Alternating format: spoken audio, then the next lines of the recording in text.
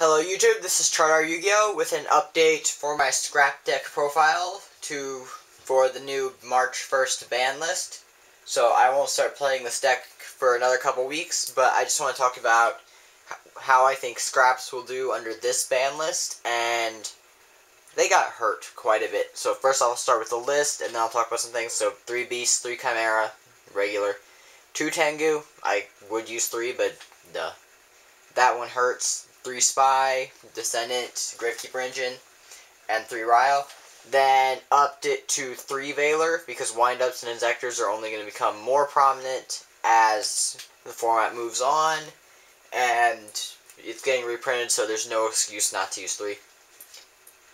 No Maxx C, because I don't believe Maxx C is as relevant at my locals, and honestly, I can't afford it.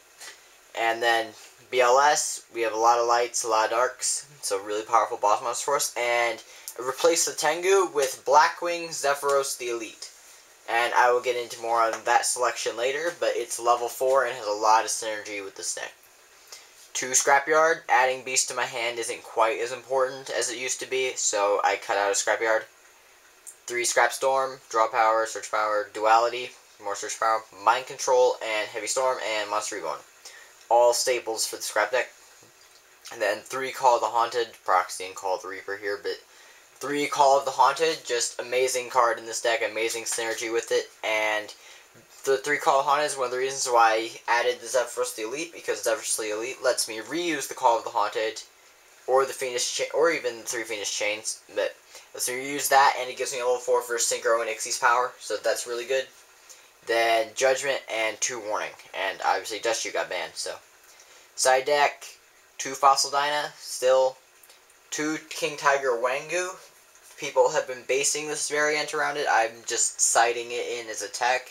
But it still hurts Inzektors and Windups really bad, and I really like that card. Then one Spirit Reaper, because I've only been using one lately. Just one of that. And then Dark Hole, and two MSC. Because I even citing three, I very rarely go into three them. Two Imperial Iron Wall, because I think people are going to be citing in D-Fissure, Macro, stuff like that a lot more because that kills the top decks right now. So Imperial Iron Wall is kind of counter side.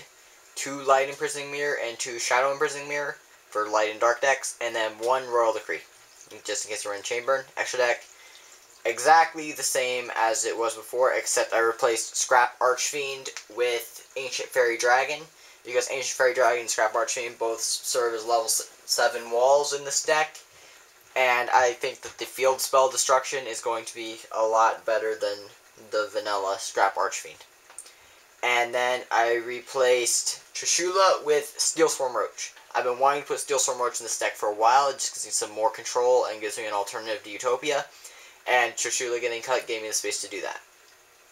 So this is my scrap deck update. Um, this is obviously assuming everyone sees the new ban list because there's dozens and dozens of videos on that. And I really, you don't need to see another one. So this is the updated scrap deck, and I think scraps will still do well as a very good anti-meta deck. Obviously, losing Dust Shoot and Tengu really hurt them, but I'm going to keep testing them out, and I will get back to you, and basically scraps are my favorite decks, so if you have any questions about that, or why I'm still running them, just put them down in the comment section below, and peace out, YouTube.